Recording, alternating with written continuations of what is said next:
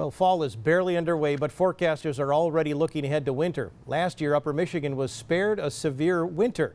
Meteorologists are warning, warning, though, not to expect that again this year. The latest projections indicate in our Facebook Friday story today that temperatures will trend colder than average, with generous amounts of precipitation continuing into winter.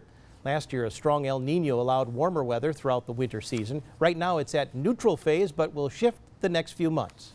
But it might slightly be more toward a La Nina phase.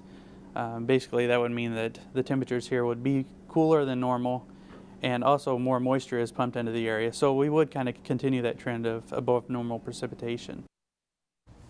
Besides El Nino, meteorologists look at other ocean currents which affect where the jet streams set up. During the record-setting winter of 2013-2014, warm water was present in the northeast Pacific. These warm waters are starting to return this year.